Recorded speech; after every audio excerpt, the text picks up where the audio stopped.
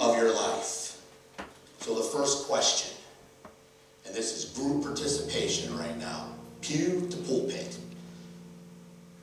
How long is God going to love you? Brother Ben, put it on the screen. You have one choice.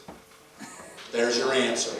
Everybody shout it out. How long is God going to love you? All the days of my life. right, now shout it out like you mean it. All keep shouting out as Jonah plays. How long is he going to love you? All the days of my life. How long is he going to keep you? All the days of my life. How long is he going to look after you? All the days of my life. How long is he going to protect you? All the days of my life. How long will he provide for you? All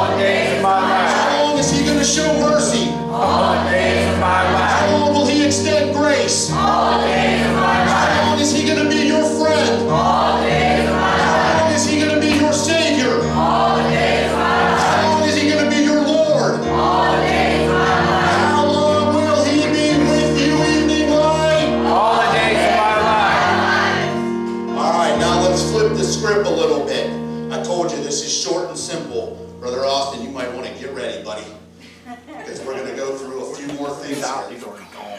Listen, we're going to flip the script. We're going to make it about us now. Same answer, regardless of the question. You're gonna behave What's the yourself. correct answer, church? Shout it out. All the days of my life.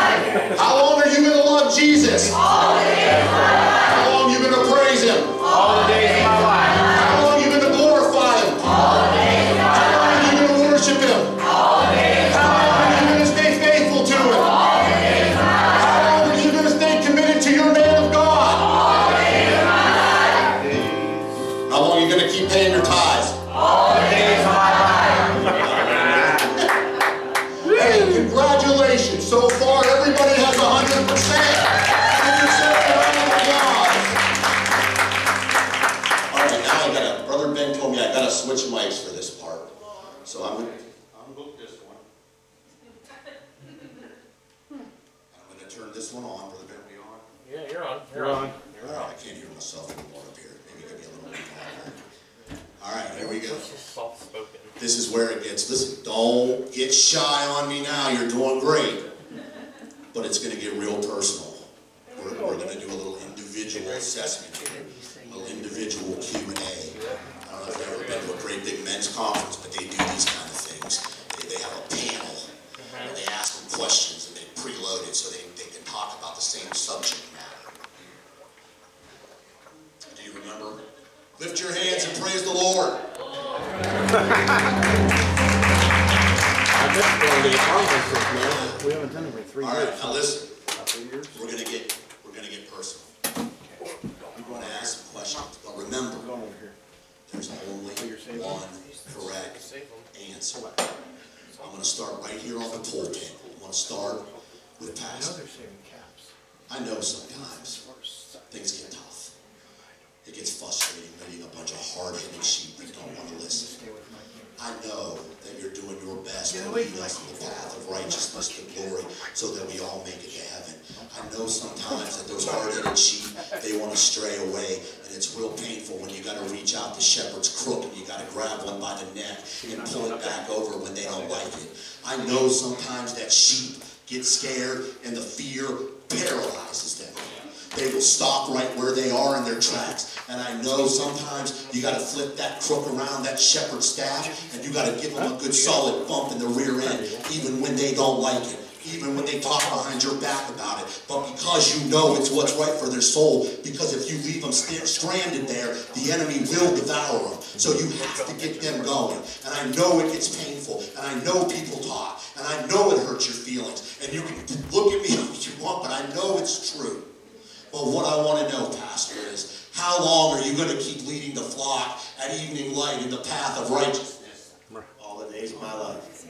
I know, young preacher, you got a young family at home. You work a lot of hours on your secular job, and when you get there, they want to play with daddy. And there's softball and baseball and piano lessons, and Ashley needs you to watch the kids while she runs up to the store, and you're trying to put your message together, and you're all kind of frustrated, and you want to throw down the tablet and just say, I quit. But what I want to know, Brother Matt, is how long will you keep preaching the gospel of the salvation? all the days of my life. Hey, Brother Jonah, I know there's been some things that nobody planned on. Right. You've, you've, you've prayed your way through them.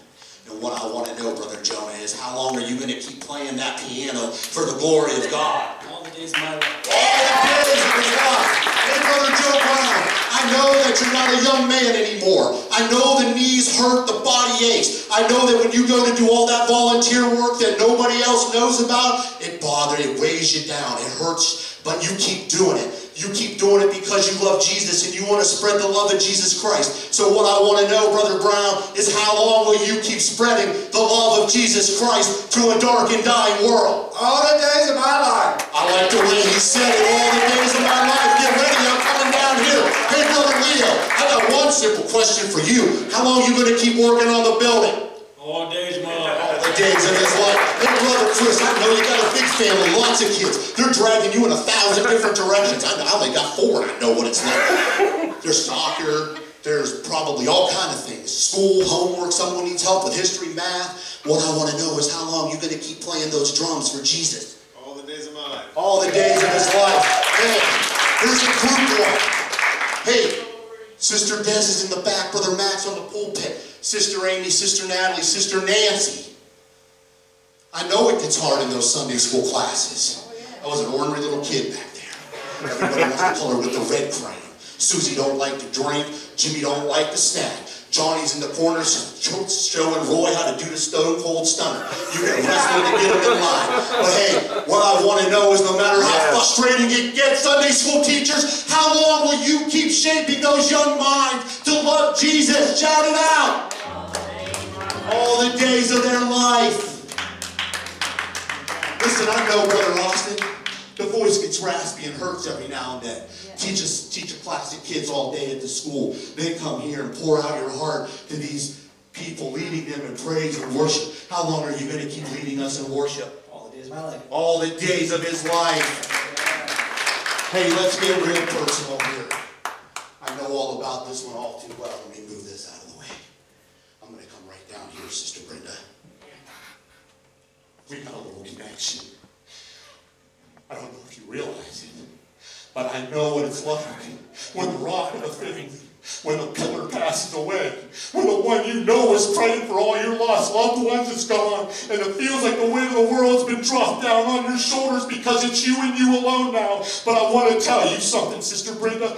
God didn't take Moses till Joshua was ready to leave. So what I want to know is, how long will you keep praying for your unsaved family? All the days of my life. all the days of her life.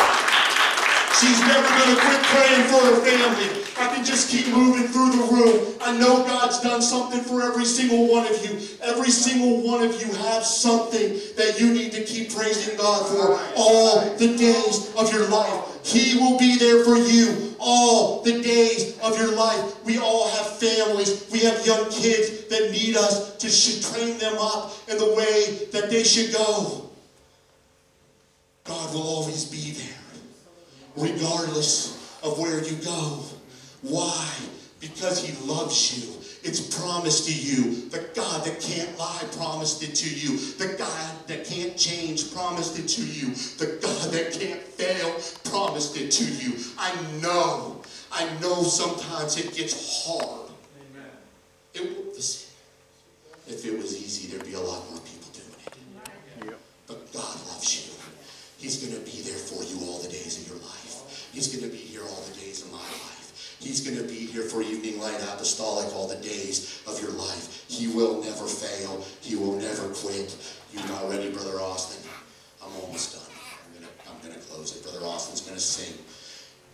Here's what I want to do right now. Listen to me. If you don't have the Holy Ghost, let me help you. Let me help you right now. He's going to be there all the days of your life. All he wants to know from you is will you be there all the days of your life? Will you, will you give him all your heart soul? Will you make him number one in your world?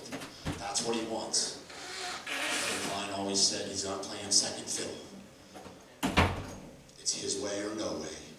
It's you and him first. Everything else comes second. I've told you before, I love my family more than air itself. But every morning I put them on an altar. I'll give them to God every day. If it's between him and them, you can have them.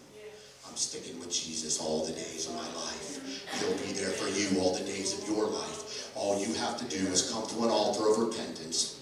Don't even repent. If you've already repented, just come to the altar. Tell him, I'll love you all the days of my life all the days of my life. Slip your hands up toward heaven and just receive the free gift of Holy Ghost that He's given you. It's that simple. Just love Him all the days of your life. And listen, all of us, every single one of us, I don't care if you've had the Holy Ghost for a hundred years or one day, you're going to mess up. You're going to make a mistake. You're going to find yourselves in moments where you just don't know. I'm confused, Jesus. I don't know why this is happening. I don't understand your will right now, Jesus.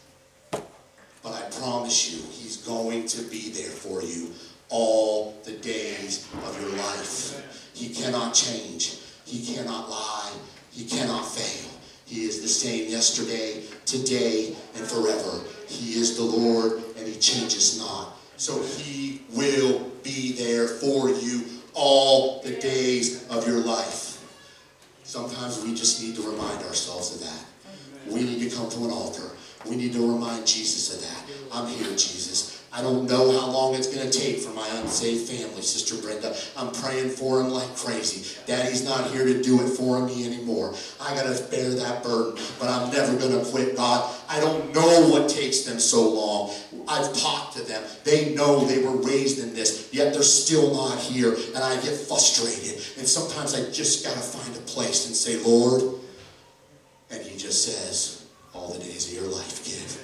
I'm going to be there. I'm going to answer those prayers. Those promises are coming true. I've never lied. I've never told you something I'm not going to fulfill. So if God told you He's going to fulfill that promise, He's going to fulfill that promise.